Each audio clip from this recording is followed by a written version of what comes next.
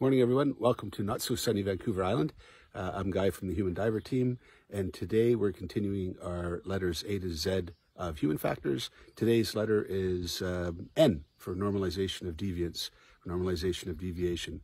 This is a term that was coined by Diane Vaughan uh, in her work on the Space Shuttle Challenger uh, disaster. So what do we mean by normalization of deviation? Well, what I thought I'd do is come down to a floating dock here in the bay, and I thought I'd give you an example. When I decided to come down here, I stood uh, about uh, 10 feet or so from the edge of the dock because uh, if a boat came in, the dock floats and the boat, uh, the dock could get uh, a little bit tippy and I could fall off into 30 feet of water. So I didn't want to do that.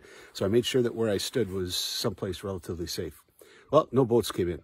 All right, so that's pretty good. So I started to move back a little closer to the edge of the dock so that uh, I could get a better uh, better picture and you wouldn't see the dock in the frame.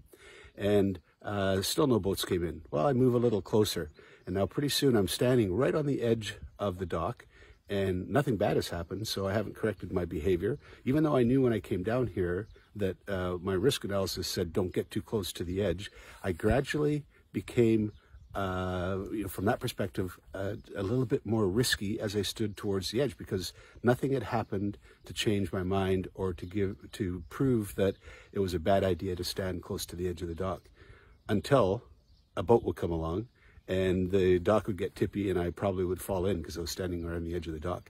So that's how it happens. It's a series of events that cause us to move closer and closer to something that we identify as uh, risky behavior, but because we don't get the feedback of having uh, you know this the the result of a bad decision, we never actually realize that we've deviated uh, so far and we've normalized that deviation. It happens in corporate culture, happens in safety all the time.